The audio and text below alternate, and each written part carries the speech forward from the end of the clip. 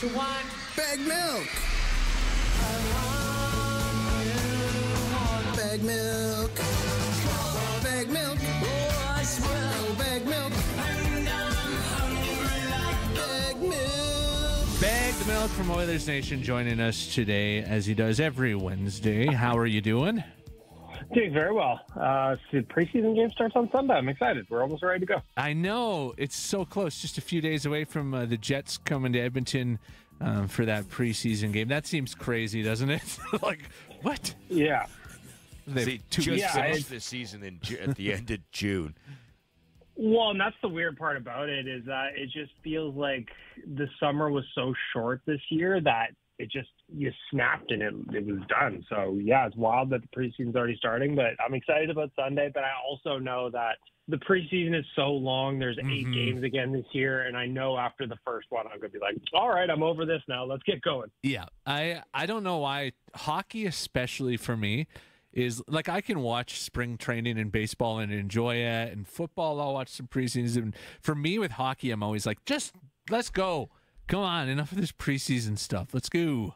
Let's get it going. I'm, I- I'm the same way. It's like even just for our business, for Oilers Nation, like having the season come back is obviously good for business, but like this preseason is just a slog. And like when you're watching games and you're, I don't even know who most of the people are. Yeah. It's just like, okay, okay. I'm just cheering for the close now.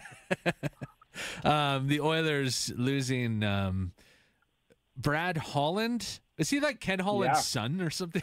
Yeah, he was Ken Holland's son. Yeah. Okay. So he was actually kind of an up and comer in that space, and some people thought that he might have an outside chance at actually getting the GM job, not just because he was Ken Holland's son, but on actual merit. Okay. So I'm curious to know like what happened there. They said it was mutually parting ways, but you know that's always one person's decision. It's Yeah. not like so I'm curious to know what happened there. He seemed like an insightful guy, but you know, with his old man gone and Jeff Jackson wanting to put his stamp on the franchise, it's not exactly surprising. But um, yeah, interesting news came out yesterday. Yeah, so that was going on. Yeah, I thought because they were talking about him as like an up and comer and as if he was uh, this this bright mind. But I totally get if you're passed over for a job too, you might want to go try your hand somewhere else and, and see what happens. And, and I bet he finds something. I bet he Mhm. does because like there was rumors last year, and there wasn't like they weren't crazy rumors or anything, but that he was in line for you know some executive jobs around the league, and so I wouldn't be surprised if he gets something.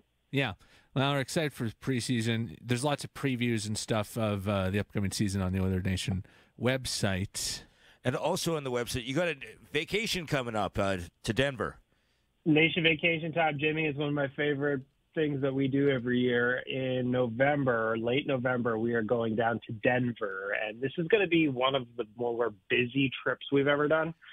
So when we get there on the Friday, we're doing a viewing party because the Oilers have a back-to-back weekend. So we're doing a viewing party on the Friday. On Saturday, we're actually going to the game, and then on Monday, we've got tickets to Monday Night Football between Ooh. Denver and the Browns. So we are going to have a packed sports weekend down in Denver. So, and the trip is already over half sold. So if you're thinking of joining us or if hearing this for the first time makes you want to come with us to Denver, definitely do it. Go to nationgear.ca. This is going to sell out and it's going to happen quickly. Yeah, because I've heard it's a great place to watch hockey. Like the Avalanche games are fun, and it's also a great place to watch um, football. Like the Broncos, I had a lot of friends that go to Bronco games. Just uh, yeah, great atmosphere and everything else. So that's I'm a, excited about it. I think it's going to be a great trip. uh, you can get all those details at nationgear.ca, and you can find bagged milk at oilersnation.com. Thanks for joining us today. Thanks, boys.